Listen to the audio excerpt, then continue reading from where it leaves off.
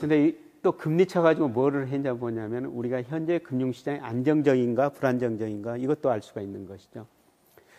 예, 제가 이 빨간 선은 우리 정, 우리 회사들이 발행하는 AA 회사채는 등급에 따라 수익률이 다 다른데 시장에서 대표적인 회사채 수익률은 AA 등급이거든요. 이거 만기 3년짜리하고 정부에서 발행하는 국제 3년짜리고 수익률 한번 비교해 본 겁니다. 근데 이 수익률 차이가 다르죠. 왜냐하면 이연 프레미엄입니다.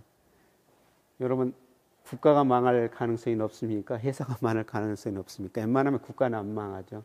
네, 그래서 이연 프레임이 있기 때문에 국채 수익률보다 회사세 수익률이 예, 높게 됩니다. 그래서 이 차이가 확대되면은 예, 금융시장이 불안하다는 거예요. 여러분이 금융시장이 불안하면 어떻게 되겠습니까? 금융시장이 불안하면은 국채 사겠어요? 회사채 사겠어요? 소위 안전자산 선호라고 그러죠. 국채만 사죠. 근데 국채 수요가 늘어나니까 예, 국채 가격 올라가 수익률이 이렇게 떨어진 겁니다. 근데 대체로 회사채는 파니까 회사채 수익률은 올라갔죠. 예, 그래서 이 차이가 신용 스프레드라고 그러는데 이 차이가 확대되면은 예, 금융시장이 불안하다. 이 차이가 축소되면은 금융시장이 안정적이다. 이렇게 해석하시면 된다는 것입니다.